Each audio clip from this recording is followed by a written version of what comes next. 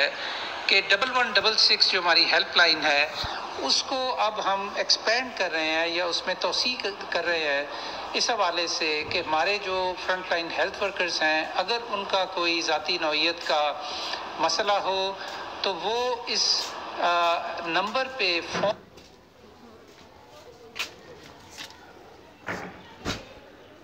अच्छा कपड़ा